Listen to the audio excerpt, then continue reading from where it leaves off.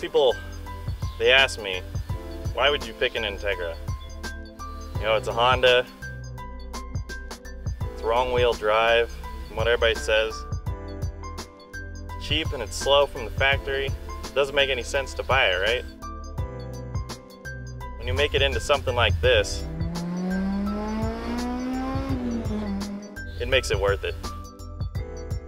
Especially when, you know, you beat people on the track, go faster than they are, you know, and just a simple Honda.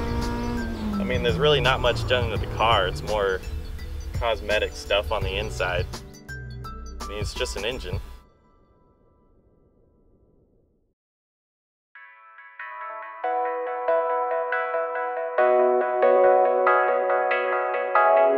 The K20, it was uh, definitely the best thing I ever did to this car.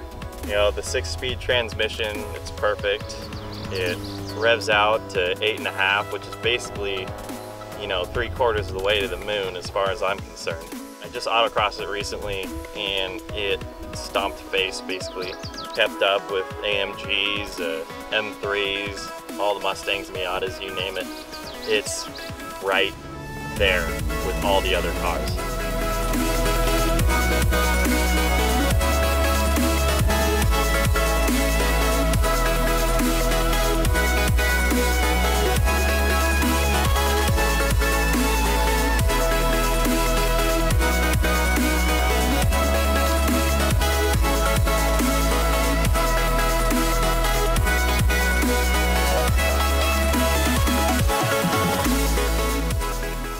And while I do have, you know, the RX-7, which is a fantastic car, um, this, every time I get in it, for the seven years I've owned it, it's just been the greatest sensation anybody would ever feel, you know.